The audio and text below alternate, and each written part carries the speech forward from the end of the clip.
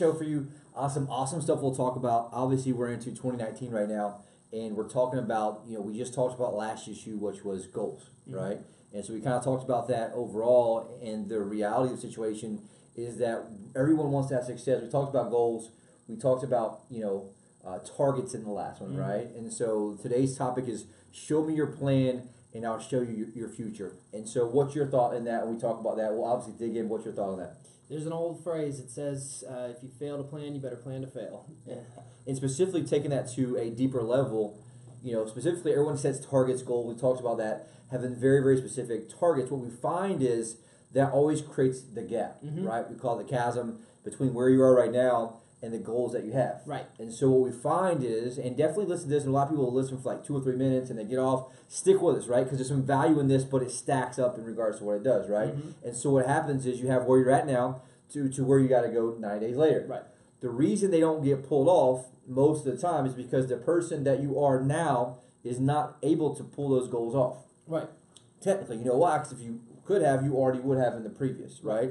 And so that's just something to watch and see from that regard. The other part of that is obviously, you know, actually having a plan. Mhm. What I find is everyone has a goal. They get all hyped up. We just had the you know beginning of the year. They have all these goals. They're all hyped up. We've all been there. And then what happens? We start to do it, and then we figure out we don't really know how to get there. That's we exactly right. think we do, but it's not broken down to the micro level that it needs to be. Mhm. And so specifically, right, we see this happen all the time with agents out there, right? So agents out there, the disconnect is always usually in the actual execution.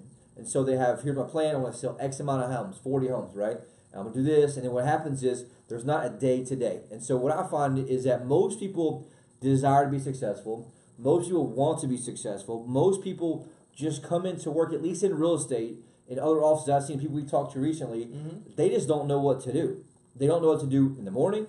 They don't know what to do in the afternoon. They don't know what to do all the time. And so what happens in that space of uncertainty is where the doubt creeps in. Right. What's been your experience in talking to people who, who've kind of been in that situation? You know, it's it. I was personally in that situation at one point, and obviously interviewing folks and, and talking to them, a lot of them are in that situation too. And I think what a lot of people don't realize is moving into real estate, you have to think like a CEO, CFO, CTO, CMO. You've got all these roles wrapped into one. Whereas you may be used to being an employee, but you've got to think like a business person. And if you're if you're coming in, you don't have a plan. Obviously, you're going to get confused uh, with what you need to do day to day. Uh, but it is those small things day to day that add up into the big targets. It's just how do you get there? How do you plan for it? How do you make it micro? right? And so that's one thing that you know I found is what we mentioned last time is the reverse engineer production. We call it REP, right? Mhm. So you have to have a target, but one of the first things that we start out with and suggest having is the IWS. We talk about that, the ideal weekly schedule. It's super important to have that. Have yourself an ideal weekly schedule. We just have a brand new person this week, Mhm. right? We have designed what the perfect schedule for most cases would be. It's obviously real estate. You want to do what you, you want and have different things going on. And so ideally you want to have the, the ideal weekly schedule set up, which is time blocks we call it, Mm-hmm. to allow you to fill up that space of uncertainty. Right? Sure. What has been your experience of kind of seeing that? Well, it's it, it's mind blowing. Uh, you just don't know what you don't know, and you also don't know what other people don't know. So, uh, looking at these ideal weekly schedules, I think we've all said it before that freedom is the biggest killer of people in real estate. Uh, but you do have the freedom to set up your schedule. Do you have the integrity to follow those time blocks and do the same time, same place every day, and actually think like a business person on that level? That's my experience is trying to rewire brains to do that. Right, and part of that, you know, the the reality of the secret of real estate or any business is that you're going to have to do the same mundane tasks consistently to be successful in anything. Mhm. Doesn't matter if you're going to the gym. Doesn't matter if you're going to have an amazing relationship. Doesn't matter if you're going to have amazing business. It's going to take massive discipline on a level that's really the micro level. And so what what you find is right, people have a plan on to sell X amount of homes, but they don't have it broken down into a daily target to be able to win. Absolutely. And so what I find is we have all these things that are not reverse engineered. So us, for example, um, the example of the targets, right? We kind of I, I, this is what I forgot on last week's show, uh, an idea of kind of what we do every 90 days. Very simple, one page life business plan, right? We call it a 90 day challenge overall in regards to what we have. And so it's got your body, your being, your balance, and your business. A 90 day target at the end. Mhm. And so what that means ideally is that you have a target That's you know you hit that yes or no at the end. Right. We talked last episode. You can go watch it. The problem with those goals is they're they're they're not yes or no. Right. They're kind of maybe. Well, did I lose some weight? And so the reality is it's got to be very specific. And then the problem is most people aren't able to bridge the gap Mhm. because it's kind of honestly just painful to go through the workplace of actually working out what are my targets. So we take the 90 day target, Mhm. we break it up into chunks. Sure. We have a 30 day benchmark, right? What's the benchmark I'm going to hit in 30 days? This will make sense in a second. What's my benchmark for 60 days? Mhm. And then ultimate my ultimate benchmark, which is my goal in 90 days. Right. And so we do this in four different challenges that year, right? To level up massively in that regard. And so what the idea there and what the, the purpose is is to get to a 30 day target, Mhm. which we then reverse engineer again. Right. And talk about that a little bit and how we do that. So what we do is we have, you know, as an agent, we have one thing for the week that makes everything else irrelevant. And I think as an agent, anyone can agree that getting a home under contract should be that one thing. But then what we have before that are four keys that prop it up, and it, and it looks like this at the end of it. And so my my whole goal and mission is like how do we simplify success Sure. for people, right? And so one of the things that we do every single week to help us have that plan, right? How do you avoid that pain of uncertainty every week? And if you're like many agents watching this, right, you have and every single person I've talked to that you know is applied here has just said they hey, I want to be successful, I desire to be successful, I just don't know what to do. Right. This is assuming that you got leads, right? Assuming that you got leads. The reality is like I don't know how to fill my time. Mhm. I get up, I'm always sure I check some email, and so the reality is to have massive success like you want, you've got to have structure, Yes. right? You've got to have an actual plan, and so what we do is we create, like you said, the the, the one door we call it, right? What's my one thing no matter what this week I got to get done. So in Mhm. our case, a lot of times that is getting a property under contract, Yes. right? Now we break that into what we call the four keys. The four keys are going to help us unlock that door. Mhm. And so it could be uh, phone calls, you know, different targets. Obviously, not going to reveal our targets, but we help our our team Mhm. identify the targets that are going to be most likely. For me, for example, one of the four keys for me this week was to film this, Right. Right, and so I didn't really want to do that. I got all kind of things going on. Uh, a crazy thing, I just got a notification on my credit card. Somebody charged four hundred dollars worth of uh, rubber gloves from Hawaii on my child. Oh my a credit card. So that's right before we walk in here. But the reality is, because I have a clear target, Mhm. aka I got to get this done today. Guess what? I had to shut that off. Come right down here, get refocused to Mhm. allow me to come towards a target after this week. Absolutely. You stack these up because the reality is we all have these things that hit hit us throughout the week that are sideways. That may obviously we all know life does not go how it's supposed to be. Sure. Right? I read a book this morning, a great book that talks about uh, life is one big mind game, and so how we react to that mind game is what determines our success or failure. This key here allows us to be able to get to that. At the end, it has a check mark. Did I hit that? Yes or no. There's no way to hide, and so we get leverage on ourselves in that aspect Mhm. to help us do that. And so this is a simple tool that you can use that helps you get success in business as well, Right. right? From that standpoint. Then we break that weekly four keys into what?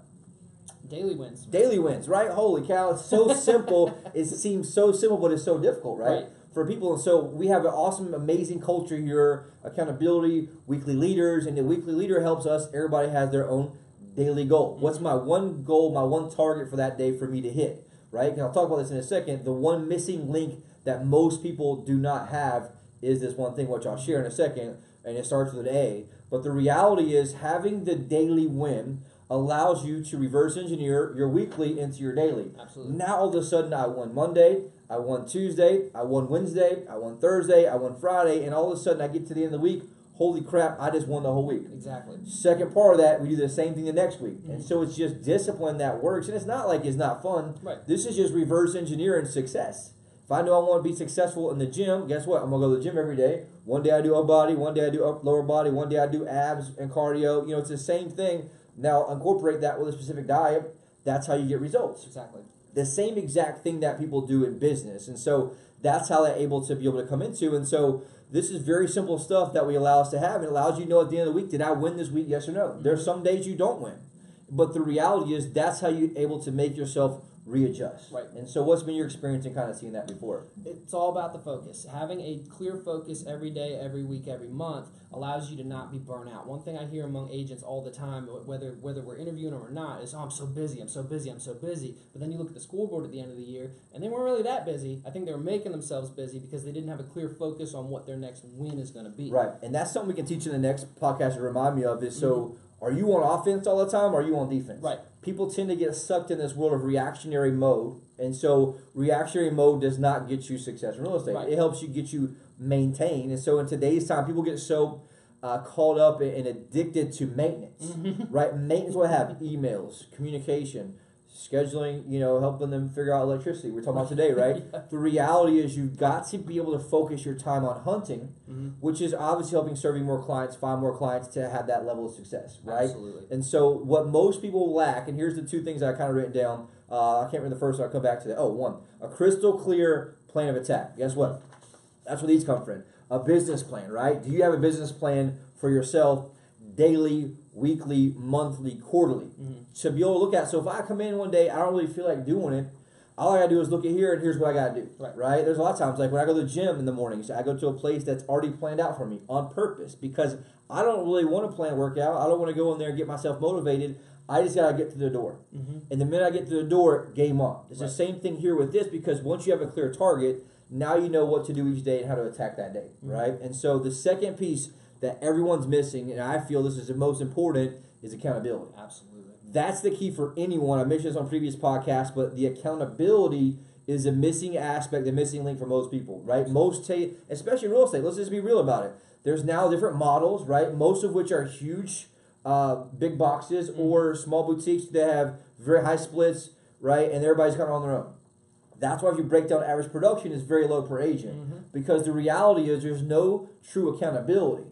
There's no true accountability that we all need in our life. We all need it in, in our in our body, right? Relationships, business especially. Mhm. Who's in your corner to help hold you accountable to make sure that you did what you said you're going to do? Right. Obviously, you want to hold yourself accountable, but there always needs to be a third party for most people. You can do it through a coach.